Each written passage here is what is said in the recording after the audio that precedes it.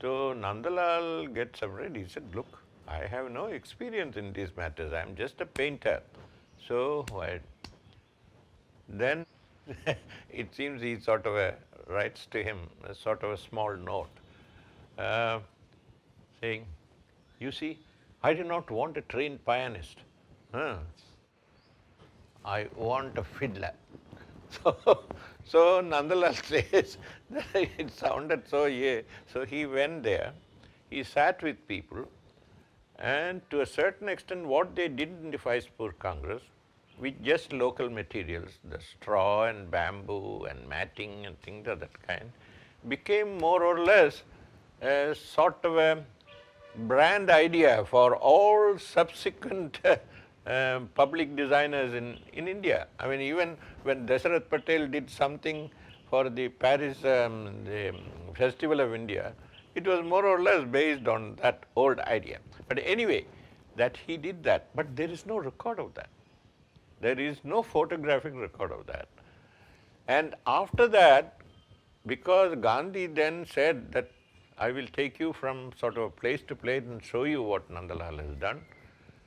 And Nandalal, who was till then known only within the four corners of Bengal, became a national figure. And um, in fact, Nandalal was extremely, I think, being a shy man, extremely embarrassed about uh, such notice.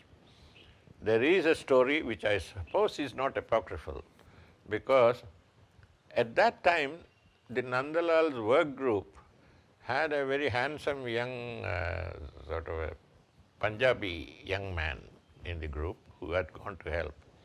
I came to know him later in the day when I was becoming a professional in, uh, in uh, Delhi.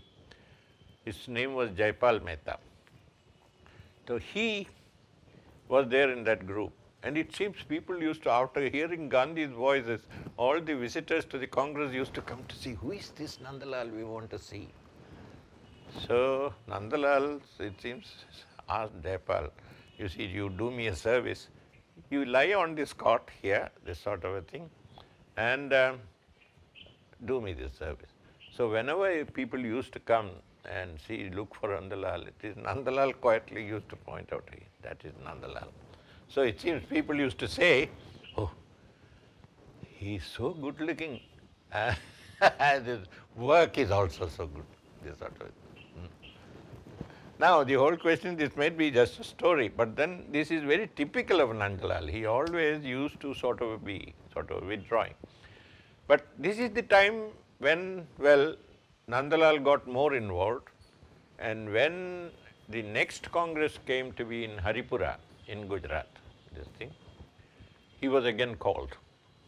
Then by that time, Nandalal, I understand, had already heard that there was some grumbling that Gandhi was depending on a Bengali artist too much, and there are artists elsewhere. And uh, so later, I think Gandhi had sort of want to, uh, in a certain uh, is um, sort of um, Secretary Mahadev Desai had also written about this question in the Bombay Chronicle. I've heard. I had seen that article somewhere, but I haven't been able to locate it, where they were trying to say, no, everyone will have work, but let Nandalal do something that he can do best. And that is how the about 100 and odd Haripura posters came into being. And Nandalal at that time camped here and then sketched, uh, and there are lots of sketches he has done of the rural um, life in, yeah. But what I am saying is that there were differences, but there were, and Nandalal has written a later article in he says that he had had a chance to um, sort of talk with Gandhi. At that time he had heard that probably some of the enthusiastic uh, Gandhiites especially in the in the Bania public. They wanted um, uh, all the Khajuraho sculptures which they thought were uh, sort of highly erotic and should be covered up and um, also similarly in Konark. So it seems Gandhi was asked by Nandalal saying, is that true? And then will you allow it? He said, no, it, it will never happen. That will. At the same time, he got a um, little more enthusiastic and said, uh, so he said, Bapu, he used to mention to him as Bapu.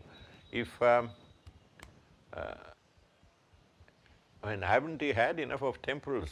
Shouldn't be sort of people go in for hospitals and these things and all. Then Gandhi is supposed to have said, I mean, that uh, Nandalal himself quotes, that, well, uh, if people want to visualize the all-powerful being and then worship him, who can stop them? We cannot stop them.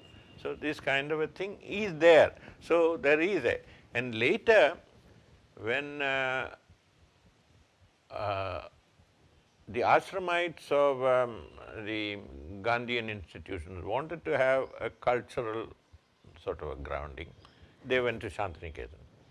And when the Shantiniketan people wanted to have an exposure to the realities of life, they went to Wardha. And this has been on and on. In fact, um, Sushila is one of them, my wife, because she was selected by that, then Gandhi was still alive. When the Kasturba Trust, Memorial Trust came into being, and uh, the first chairman was uh, Sucheta Kripalani, who was very close to Gandhi at one time, that Kripalani's wife. And uh, she had at one time taught, taught uh, Sushila in the college history. And later she knew that Sushila had spent a year here in Shantiniketan. At the same time as um, Satyajit Ray, Mrinalini Sarabhai and these people.